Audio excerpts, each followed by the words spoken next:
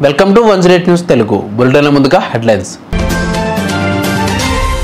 తెలుగు రాష్ట్రాల మధ్య మళ్ళీ జల భారీగా మోహరించిన బలగాలు. అమయ్ కుమార్ భూ కేసుల విచారణలో కొత్త ట్విస్ట్. వర రవీంద్రకు ప్రాణహాని. టీడీపీ నేత సంచలన వ్యాఖ్యలు.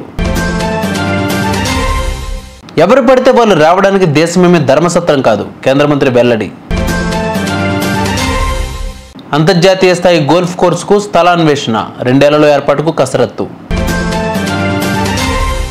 తెలుగు రాష్ట్రాల మధ్య మరోసారి జల వివాదం రేగింది. సాగర్ కెనాల్ రీడింగ్ కోసం తెలంగాణ సిబ్బంది నాగార్జున సాగర్ డ్యాం వద్దకు వెళ్ళగా అక్కడ ఏపీ సిబ్బంది వారిని అడ్డుకోవడమే కాకుండా తెలంగాణ వారికి మీకు ఇక్కడేం పని అంటూ వారిని అక్కడ నుంచి పంపించేందుకు ప్రయత్నించినట్లు తెలుస్తోంది. దీనితో ఇప్పుడు మళ్ళీ ఇరు రాష్ట్రాల మధ్య జల వివాదం మొదలైనట్లు తెలుస్తోంది. ఇదిలా ఉంటే మునుపటి ప్రభుత్వాల్లో కూడా ఇరు రాష్ట్రాల మధ్య జల వివాదం నెలకొన్న విషయం తెలిసిందే. అప్పట్లో ఏపీ మిగులు జలాలను దొంగలిస్తోందని తెలంగాణ సర్కార్ ఆరోపించగా తెలంగాణ ప్రభుత్వమే అక్రమంగా జల విద్యుత్ కోసం నీటిని మళ్ళిస్తోందని ఏపీ ఆరోపించింది. ఈ ఆరోపణ మధ్య ఇరు రాష్ట్రాల శ్రీశైలం నాగార్జున సాగర్ జలాశయాల వద్ద భారీగా బలగాలను మోహరించారు. ఐఏఎస్ అమయ్ కుమార్ వ్యవహారంలో ఎన్ఫోర్స్మెంట్ డైరెక్టరేట్ కేసుల విచారణలో కీలక మలుపు తిరిగింది. నాగారం ల్యాండ్ స్కామ్ ఈడీ పోలీసుల నుంచి సమాచారం తీసుకుంది. అమయ్ కుమార్ పై వచ్చిన ఆరోపణలపై వివరాల కోసం తెలంగాణ డీజీపీకి తాజాగా ఈడీ లేఖ రాసింది. భూ అక్రమాలపై ఇప్పటి వరకు పన్నెండు ఫిర్యాదులు వచ్చాయని లేఖలో డీజీపీకి ఈడీ తెలిపింది. ఈడీ లేఖకు తెలంగాణ డీజీపీ స్పందించారు. నాగారంతో పాటు పలు కేసులకు సంబంధించిన వివరాలను ఈడీకి అందజేశారు. ఈడీకి చేరిన Shankara hills society Balasaibaba trust Nagaram Rayadurgam ల్యాండ్ల వివరాలు ఇచ్చారు. పోలీసుల నుంచి వివరాలు రావడంతో ఈడీ విచారణ వేగవంతం చేయనుంది. వర్రా రవీంద్రకు వైసీపీ నుంచే ప్రాణహాని ఉందని Pulivendula TDP incharge BTech Ravi ఆరోపించారు. వర్రా విషయంలో ఆ పార్టీ లీకులు చేస్తుంటే ఇదే అర్థమవుతుందని ఆయన అన్నారు. వర్రాను అరెస్ట్ చేయలేదని డీఐజీ కోయ ప్రవీణ్ ప్రకటించారు. కానీ అరెస్ట్ చేశారంటూ వైసీపీ ఆరోపిస్తోంది. వైసీపీ వాళ్ళే ఆయన ప్రాణానికి హాని కలిగించే ఛాన్స్ ఉందని ఆయన అన్నారు. ఆ నెపాన్ని ప్రభుత్వం పోలీసులపై నెట్టే కుట్ర జరుగుతుందని ఆయన పేర్కొన్నారు. తర్వాత నిన్నటి నుంచి కూడా మనము సోషల్ మీడియాలో కానీ టీవీ ఛానల్స్లో కూడా చూస్తున్నాం. వర్రా రవీందర్ రెడ్డి నిన్న అరెస్ట్ అయినట్లు.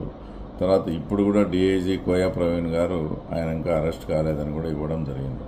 అంటే మనం ఒక ఒక విషయాన్ని సునిశ్చితంగా కనుక గమనిస్తే వైసీపీకి చెందిన సోషల్ మీడియా వల్లే నిన్నంతా కూడా వర్రా రవీందర్ రెడ్డి అరెస్ట్ అయినారని పెట్టడం. తర్వాత మళ్ళీ వాళ్ళే ఈరోజు తప్పించుకున్నాడని మళ్ళీ వాళ్ళే పెట్టడం. ఇదంతా చూస్తూ ఉంటే దీని వెనుక భారీ కుట్రకోణం ఏదైనా దాగి ఉందేమో అనే అనుమానం కలుగుతుంది.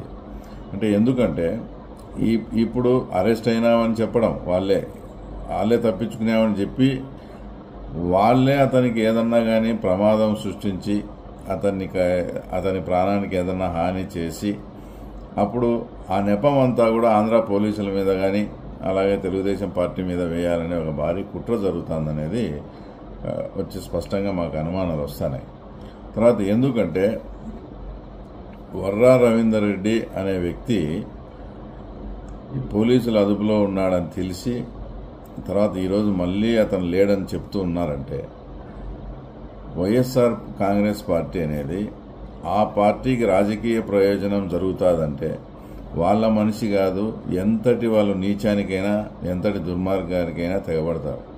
ఈరోజు వర్రా రవీందర్ రెడ్డికి వాళ్ళే ఏదన్నా ప్రాణహాని చేస్తే అది తప్పకుండా ఆంధ్ర పోలీసుల మీద కానీ ఆ తర్వాత కూటమి ప్రభుత్వం మీద పడుతుందని ఆలోచన చేసి అతనికి ప్రాణానికి ముప్పు ఉందనేది వచ్చి ఖచ్చితమైన మా అభిప్రాయం. అలాగే నిన్నైతే పులివెందుల్లో పిఏ రాఘవరెడ్డి ఇంటి దగ్గరికి పోయినారు. ఈ రాఘవరెడ్డి అనే అతనికి అంతకుముందు గతంలో వివేకానంద రెడ్డి హత్య విషయంలో కానీ ఇప్పుడు వర్రా రవీందర్ రెడ్డితో ఈ రెండు మూడు రోజుల నుంచి కానీ కంటిన్యూస్లో టచ్లో ఉన్నాడు. అతని గన అదుపులోకి తీసుకొని విచారిస్తే ఇంకా చాలా చాలా విషయాలు కూడా బయటపడే పరిస్థితి ఉంది కాబట్టి ముందు ఆ పిఏ రాఘవరెడ్డిని కూడా అరెస్ట్ చేసి వర్రా రవీందర్ రెడ్డి విషయంలో పోలీసులు చాలా అప్రమత్తంగా ఉండి ఏదైనా జరిగేదానికి అవకాశం ఉంది కాబట్టి ఆ తర్వాత మీరు అతన్ని తొందరగా వచ్చి అదుపులోకి తీసుకొని కోర్టులో హాజరు పెట్టాలని కూడా మిమ్మల్ని మరీ మరీ కోరుతున్నాను. మీకు అవేర్నెస్ చెప్తున్నాను మిమ్మల్ని హెచ్చరిస్తున్నాను.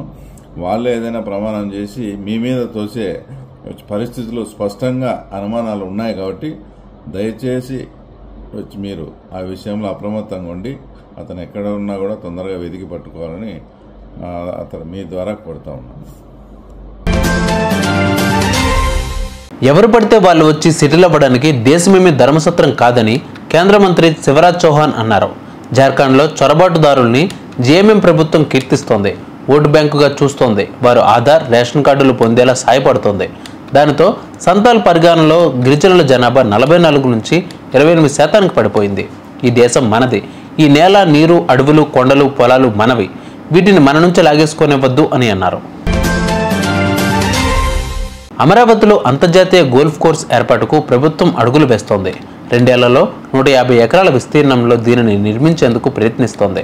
కొండపల్లి మూలపాటుతో పాటు రాజధాని ప్రాంతాల్లో కూడా స్థలాన్వేషణ చేస్తోంది. దీని బాధ్యతను ఏసీఏ అధ్యక్షుడు కేసినేని చిన్నికి అప్పగించింది.